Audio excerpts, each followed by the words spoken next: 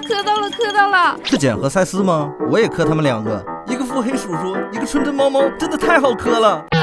呃，我不是说这个。难道是开朗机械大男孩不会梦到喜欢解剖的病娇大姐姐？磕这个的话，确实像格丽斯能干出来的事儿，可以理解。不是不是，也不是。那你磕的是谁和谁？桌子和我的腿。桌子和腿的美好爱情，一个是冷冰冰的木头，一个是有血有肉的生物。他们在一次碰撞中开启了属于他们的故事，最后冷冰冰的木头也有了新的火热。结局是 H E，不愧是我妹妹，我很满意。